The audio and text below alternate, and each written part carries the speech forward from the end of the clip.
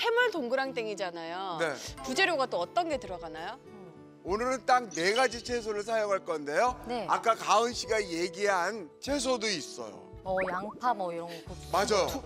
어, 양파. 어 고추. 오. 자 여기 보시게 되면 먼저 곱게 다진 양파가 아. 300g. 음. 어 양파 씨. 거의 요만한 양파 한 개 반 정도면 300g 되거든요. 네. 그다음에 홍고추 두 개예요. 어. 씨 제거해서. 네. 네.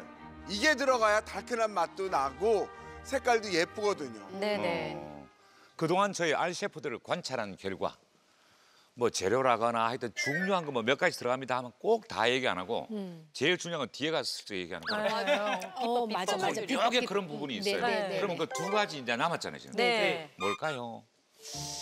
동그랑 땡. 오징어랑 잘 어울리는 건 부추 좀 들어가지 않았나? 좀 썰어서. 부추, 또 동그랑 두부는 무조건 들어가야 되지 않나요? 두부. 두부 막 으깨서 응, 조물조물. 두부께서. 어.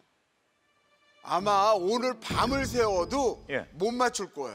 어, 왜요? 왜냐하면 네. 오징어와 맛은 참 잘 어울리면서 네. 동그랑땡에 흔히 넣을 생각을 못하는 채소거든요. 아.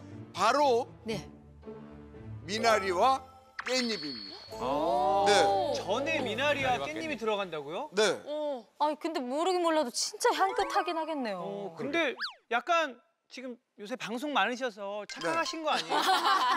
해물찜 하는 게 아니고요 지금 네. 누구랑 하시는데 미나리랑 깻잎은 좀 안 맞는 것 같아요. 아니에요. 미나리와 깻잎을 넣으면 색감은 물론이고 향긋한 향이 오징어와 정말 잘 어울려요. 어 진짜로요? 네, 근데 하진 쌤. 네. 미나리랑 깻잎이 들어가는 것만으로도 되게 특별해서 좀 손질법도 좀 특별한 게 있나요? 그냥 송송. 어, 송송.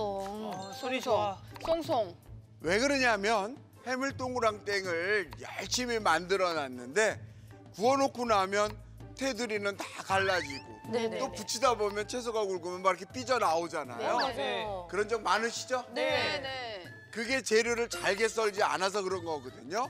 아. 재료는 되도록 잘게 썰어야만 반죽 만들기도 쉽고 음. 붙여놨을 때 갈라져거나 삐져 나오는 게 없어요. 어 그렇겠다. 네.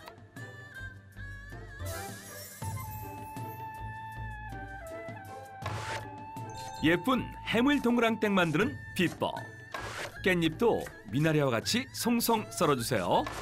그래야 반죽과 잘 어우러져 부친 후에도 갈라지지 않는다는 사실 잊지 마세요.